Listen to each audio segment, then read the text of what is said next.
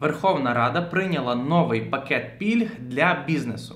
Перелік пільг досить великий, тому рекомендую вам додивитися відео до кінця. Впевнений, ви точно знайдете пільгу саме для вашого бізнесу. Привіт! Мене звати Богдан Янків, я є адвокатом, надаю юридичні послуги бізнесу, а також приватним клієнтам, щоб отримувати безкоштовні консультації. Слідкуйте за моїм каналом. Контакти для звернення до мене за платними послугами є на цьому відео.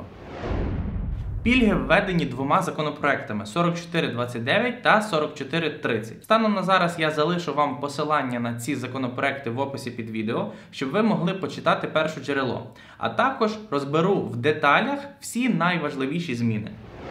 Для закладів громадського харчування, тобто барів, кафе, ресторанів, продовжують ліцензію на торгівлю алкоголем до закінчення карантину, а також 3 місяці з моменту закінчення карантину. Це відбудеться повністю безкоштовно та автоматично. Для тих, хто працюють на орендованому державному або комунальному майні і в зв'язку з карантинними обмеженнями їхній вид діяльності буде заборонений то вони зможуть за цей період не платити оренду. Скоріше за все, це законодавче положення буде реалізувати не так легко, враховуючи, що весною теж намагалися звільнити від сплати оренди, і на практиці просили сертифікат про настання форс-мажорної обставини від торгово-промислової палати. Але я вже зняв відео про те, як отримати цей сертифікат, тому залишу на це відео посилання в підкасті, щоб ви змогли ознайомитись. Також ці законопроекти офіційно легалізували виплату 7 тисяч гривень для ФОПів, працівників та для роботодавців юридичних осіб.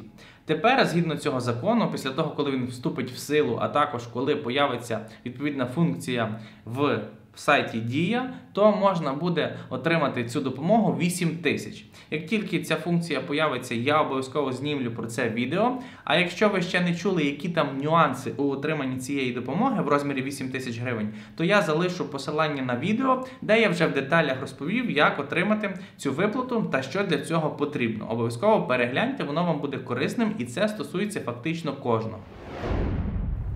Також держава оголосила про те, що вона списує податкові борги. Якщо у вас є податковий борг станом на 1 листопада і він менший ніж 3060 гривень, то податкова без жодної заяви це списати має автоматично. Звичайно, розуміючи і знаючи нашу податкову, скоріш за все, більшості, звичайно, спишуть автоматично, але по-любому будуть нюанси і люди, в яких це не списали автоматично. Тому я вам наполегливо рекомендую проконтролювати, якщо у вас є такий борг щоб дійсно він був списаний. Якщо його не спишуть, то потрібно буде написати заяву лист в податкову і проханням списати цей борг відповідно до цих законопроєктів. Як бачите, змін досить багато, і я зараз їх ще продовжу перелічувати. Тому я вам пропоную організуватися наступним чином. Якщо це відео збирає 1100 лайків, то я знімлю більш детальні відео, де розповім в деталях про нові зміни. Тому, якщо вам це цікаво, ставте цьому відео лайк, а також ідіть писати в коментарі саме ту тему, яка вас буде цікавити найбільше. І очікуйте нове відео. Якщо у вас є податкові борги в сумі до 6800 гривень, то ці борги відстрочені до 27 грудня. Тобто за те, що ви їх не оплатите, не буде ні пені, ні штрафу до 27 грудня цього року. Крім того, є дуже хороша новина для фізичних осіб-підприємців на першій групі. Для них зробили звільнення від податків аж на півроку до травня місяця. Вам не треба буде платити ні єдиний податок, ні єдиний соціальний внесок. Але наголошую, що це нововведення стосується лише для платників першої першої групи. Друга, третя, четверта група платників єдиного податку мусять платити і єдиний податок, і ЄСВ, як це було завжди. Дуже важливим нововведенням є те, що сплячим ФОПам боржникам по ЄСВ продовжили списання боргів. Якщо пригадуєте, то літом цього року ФОПи сплячі, які вже давно закинули своїх ФОПів, але не закрили в повному обсязі, їм нараховувалось ЄСВ, і вони мали можливість це ЄСВ списати. І дуже багато, зокрема, наших клієнтів теж собі списали це ЄСВ. Відтепер строк списання ЄСВ продовжено аж до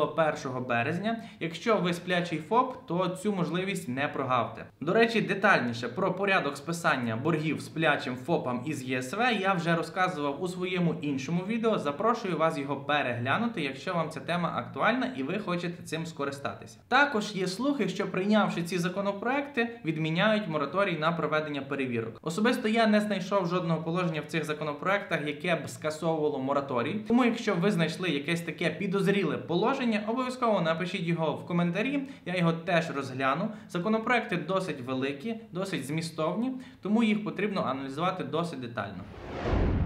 Сподіваюсь, це відео вам було корисним та актуальним. Ви змогли дізнатися про нові пільги для бізнесу, які введені в грудні 2020 року у зв'язку з карантином. Якщо вам потрібні послуги адвоката або юридична консультація, контакти для звернення до мене за запитом є на цьому відео. Якщо у вас є питання, обов'язково пишіть їх в коментарі, їх варто обговорити. Ставте лайк цьому відео, підписуйтесь на мій YouTube та Telegram канали, ставте дзвіночок, щоб не пропустити нові відео, а також поділіться відео та моїм каналом зі своїми друзями. Побачимось в наступних відео.